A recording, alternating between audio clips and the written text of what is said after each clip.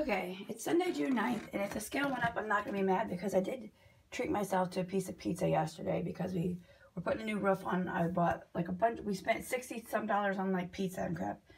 So I did have one full slice of pizza. So whatever, I don't feel bad about it. It is what it is.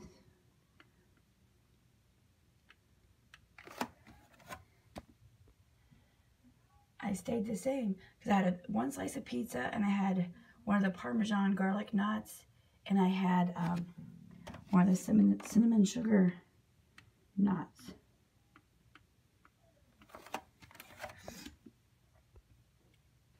Yay!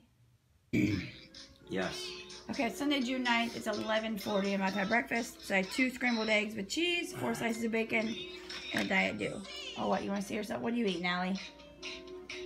Ah, Eggs and raspberries and bacon? okay.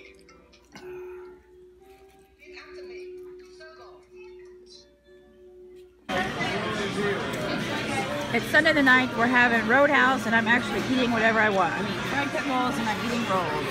look at my coloring, guys. So far, my dinner hasn't came yet. What about cheese? Just to get in. Okay. I had a roll, a bunch of peanuts, Okay, I had the barbecue chicken and the six ounce sirloin and green beans. I also got the shrimp skewer. Oh my.